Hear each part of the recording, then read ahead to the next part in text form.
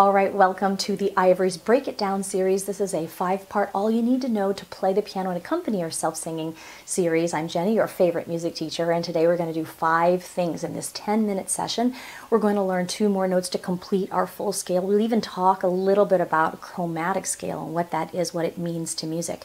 We're going to learn what a melody is, how to identify it in a song and be able to play it in our right hand also. We're also going to learn arpeggiated chords and demystify this myth of what an arpeggiated chord is, how we can listen to it, hear it, identify it, and actually play it to change genres and add it to the mix. And then lastly, intros and outros, how we can pick themes of pre-existing songs, place them at the beginning, at the end, make our own signature sound, how we can identify those and use that in our arsenal of music tools. Now, if you're ready to do all of this in 10 minutes, go grab your keyboard, find your spot, and let let's get started. Now we're looking at melody. Melody is one of the two most important parts of the song, melody and rhythm. And in this case, instead of writing down our melody like you would on regular sheet music, we are going to sing the melody. It's really a singer's tool, IVOREEZ, and so that you can sing, or your group or friends, or let's say an instrumentalist can play the melody while you accompany, okay? Now, to do this, we would sing the melody and identify what that is. The most important part that pianist, accompanists need to know is to identify the melody. Now, in this case, we already know this melody very well. I don't think anyone on the planet uh, isn't familiar with this song. Um, we would find it, and in this case, we would want to hear it in our head and play it the notes on the keyboard. So, and in this case we'd sing jingle bells, jingle bells, jingle all the way. Now without any notes, find those notes and play it. And you'd have to hear it, find your way around the keyboard to hear it. Jingle bells, jingle bells, jingle. Here it is. Jingle all, where's all? No. Jingle all the way, all the way. You just like I did that process of hearing it and matching it. So you'd have to sing it, hear it, internalize it first. Um, let's do the next part. So let's try to hear it and sing it. Oh, what fun it is to ride. Now we'd locate it on our keyboard. Oh, what fun it is to ride. Okay, we know that part because those are only two notes and it says in a one horse open sleigh. So we'd have to sing in a one horse open sleigh. Sleigh, sleigh. There's your note, sleigh. So by trial and error, I just wanted to show you the process and how to hear it and be able to put it on your keyboard so that you can do both, sing and play and know where the melody is, okay? So it's very important for singers, very important for the pianist to understand where the melody lies, how to recreate that on your keyboard. We're going to continue with three more notes so that we can continue this scale, and that's just a series of seven notes. We've already got our first five. We're going to add these last three. We stopped at G, we're going to go A, B, C, and if we were to write it down, it would look like this. A, B, C. So after G goes A, B, and C, and we have a seven note scale. So technically this isn't a new note.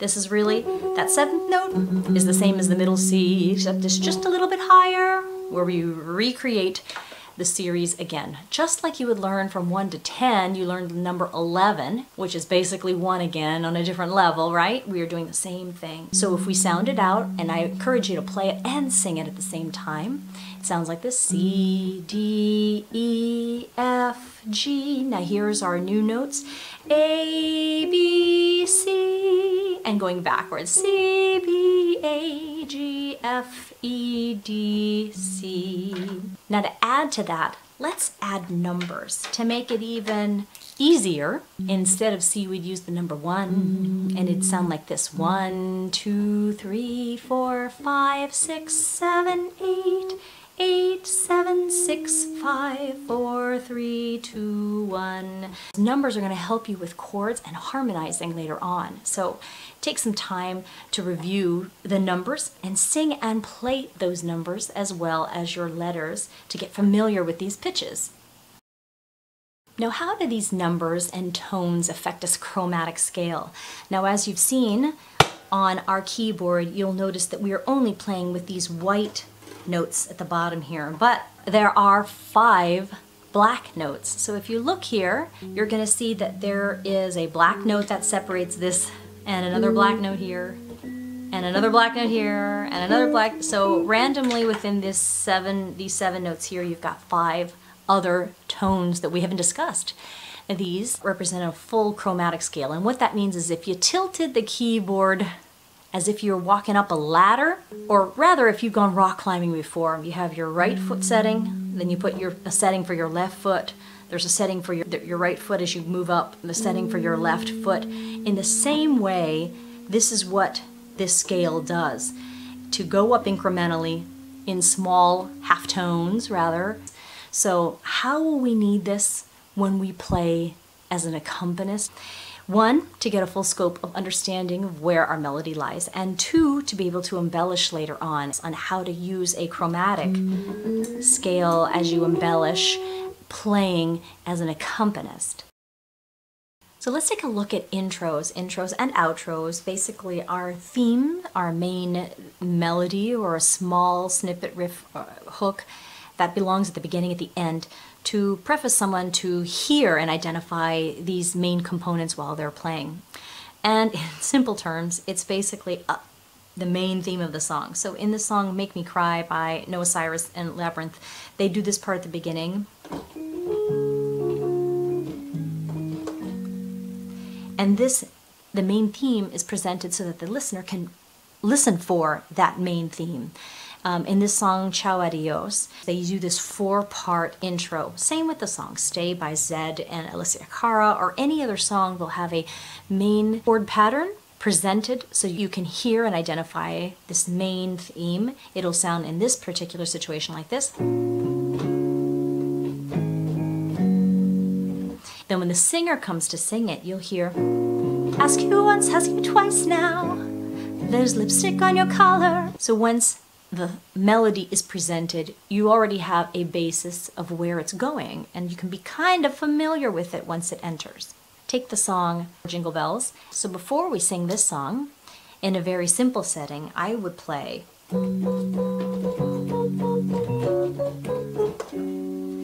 Jingle bells, and we go right into the song at the very end of the song where they sing, Oh, what fun it is to ride in a one horse open sleigh, I would go.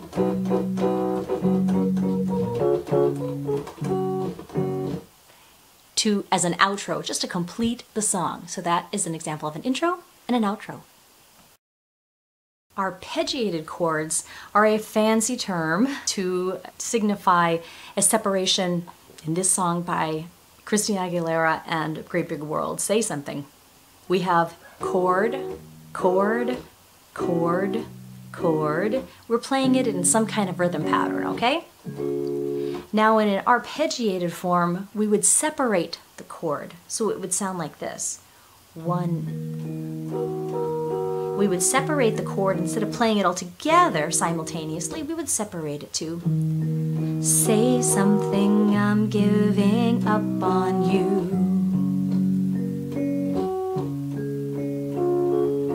And we would separate, we would arpeggiate a chord. When we did this song, you can make it either a regular jingle bells, nice and fun and fancy as you would play a guitar, or you can do jingle bells, jingle bells, jingle all the way. And you're just randomly choosing any chords, any one of these, separating the chords. Oh, what fun it is to ride in a one horse open sleigh. Jingle bells. Arpeggiating is simply separating the sounds. It's that simple. All right, great work. Now our next lesson, stay tuned for part four. We're gonna learn these four things. We're gonna learn the last five notes. Where have these notes been so that we can complete our chromatic scale? How do we use it as an accompanist? We're gonna learn to harmonize. How can we do this with the chord system? Well, you're in luck because the colors on the IVOREEZ system make chords very easy so you can harmonize easily just by looking at them. We're also gonna look at how to play outside of the melody so that you can accompany yourself like the real pros do. And I'll give you some tips on how to do that. And lastly, invention. And it's just a fancy way of being able to play these chords in a way that is how the real professionals do it. So come join us for part four and learn how to do all these things. In the meantime, keep tickling those ivories.